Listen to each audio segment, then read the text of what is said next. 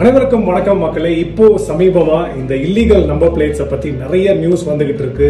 ரீசெண்டா ரெண்டு மூணு நியூஸ் சேனல்ஸ்ல கூட இல்லீகல் நம்பர் பிளேட்ஸை பத்தி சொல்லிட்டு இருந்தாங்க. அண்ட் இந்த ரூல் இப்பதான் வந்துச்சா அப்படின்னு கேட்டீங்கன்னா நிச்சயமா இல்ல. இந்த இல்லீகல் நம்பர் பிளேட்ஸ் ரூல் வந்து கிட்டத்தட்ட மூணு நாலு வருஷத்துக்கு மேலாச்சு. அதுல எந்த மாதிரி நம்பர் பிளேட்ஸ்லாம் இல்லீகல் அப்படின்றத சொல்லிடுறேன். ஃபர்ஸ்ட் வந்துட்டு இந்த ஸ்டைலிஷ் ஃபாண்ட்ல எழுதுற நம்பர் பிளேட்ஸ் எல்லாமே இல்லீகல் தான்.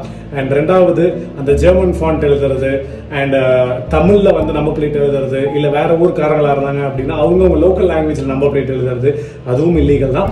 மூணாவது இந்த டெயில் டைடி வச்ச நம்பர் பிளேட் வந்து முக்கியமாக இல்லீகல்னு சொல்கிறாங்க அது ஏன் அப்படின்னு பார்த்தீங்கன்னா நம்பர் ரீடிங் கேமராஸ் வந்து சென்னை மாதிரி சிட்டிஸில் வந்துட்டு இருக்கு.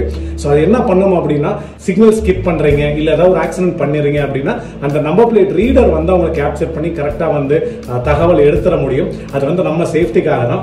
ஸோ அந்த டெயில் டைடி யூஸ் பண்ணுறதும் ரொம்ப ரொம்ப தவறான விஷயம். மேக்னெட்டிக் டெயில் டைடியும் யூஸ் பண்ணக்கூடாது. அண்ட் நாலாவது நம்பர் பிளேட்டில் எந்த விதமான ஃபான்ஸுமே யூஸ் பண்ணக்கூடாது. ஃபார் எக்ஸாம்பிள் நம்பர் பிளேட்டுக்கு மேலே வந்துட்டு கிங்குன்னு எழுதுறது குயின் எழுதுறது இல்லை அவங்கவுங்க பேரை போடுறது. ஸோ அது எல்லாமே வந்து இல்லீகலாக சொல்கிறாங்க இந்த சட்டம் இப்போ வந்தது கிடையாது. மறுபடியும் சொல்றேன். கிட்டத்தட்ட மூன்று ஆண்டுகளுக்கு முன்னாடியே இருக்குது. இப்போ கொஞ்சம் ஸ்ட்ரிக்டா இருக்கிறதுக்கு காரணம் என்ன அப்படின்னு கேட்டீங்கன்னா மேக்னெட்டிக் டெயில் டைடிஸ் வச்சுட்டு நிறைய கிரைம்ஸ் நடக்கிறதா சொல்றாங்க. செயின் பறிப்பு போன்ற நிகழ்வுகள் இல்ல அப்படின்னா ஒரு கிரைமே பண்ணிட்டு தப்பிச்சு போறவங்க வந்து இந்த மேக்னெட்டிக் டெயில் டைடிஸை யூஸ் பண்ணி போறாங்க அப்படின்றதா உண்மை.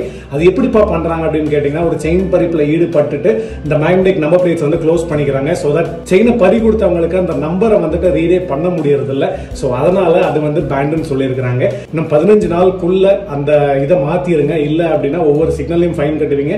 அண்ட் போலீஸ் வந்துட்டு உங்க வண்டியவே சீஸ் பண்றதுக்கான அதிகாரத்தையும் கொடுத்துருக்காங்க யார் யார் மேக்னெட்டிக் நம்பர் பிளேட்ஸ் போட்டிருக்கீங்களோ அவங்க எல்லாருமே கலட்டிருங்க. ஸோ தட் நம்ம ஃபைன்ஸ்ல இருந்தும் தப்பிக்கலாம்.